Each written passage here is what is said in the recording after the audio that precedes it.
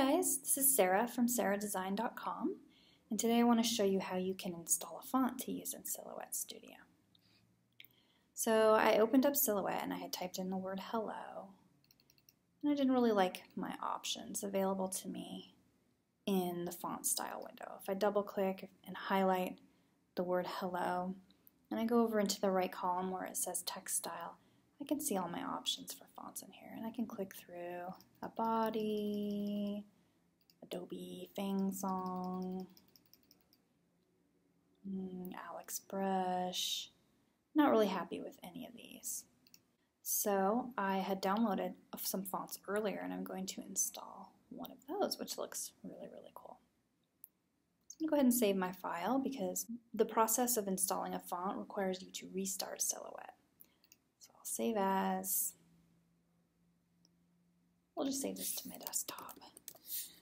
Call it hello and hit OK. There we go. Now I'm going to close Silhouette. All right, so go ahead and navigate to your newly downloaded font folder and you're going to find the .otf file and double click on that.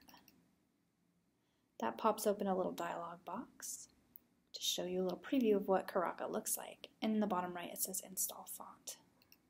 Click on that and then your font book automatically opens and shows you that Karaka has been added.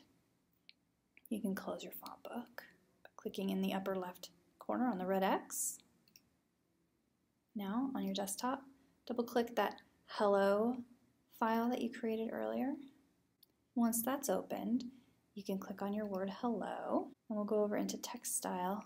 We can type in C A R and then it pops down the list to where Karaka is. I'll click to select that and it has been applied. And I can click off to deselect. Make this a little bigger so you can see. It's cute font, right? So it's pretty easy. It's just the trick is that you have to restart Silhouette. That's a, uh, a problem that a lot of people run into is they download and install a font and they have Silhouette open the entire time. They're like, well, where is it? It didn't work. It's not installing and they don't understand how to fix that. So now you know the trick. Hope this was helpful to you, and I'll see you in the next video.